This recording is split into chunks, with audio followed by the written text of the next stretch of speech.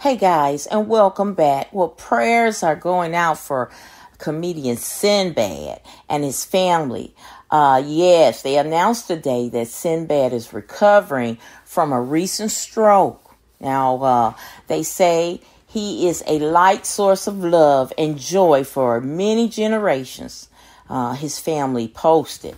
While he is beginning his road to recovery, we are faithful and optimistic that he will bring laughter into our hearts soon. Now, Sinbad, whose real name is David Adkins, burst onto the comedy scene in 1990, gaining fame with his HBO stand up special, and worked on sitcoms such as A Different World and the short lived Sinbad Show.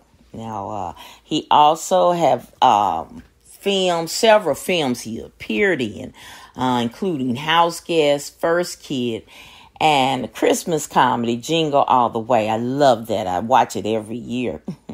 now, uh, his family wrote, Our family thanks you in advance for your love and support and asks for continued prayers for his healing.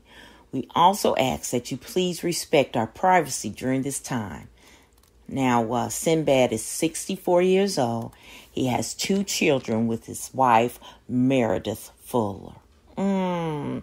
Well, uh, you know, I, I looked on his um, Facebook page and looks like he has been doing stand up uh, comedy um, as uh, lately as of October um, because um, he's he has been on the roads. I'll be praying for Sinbad and his family, and I hope you will too.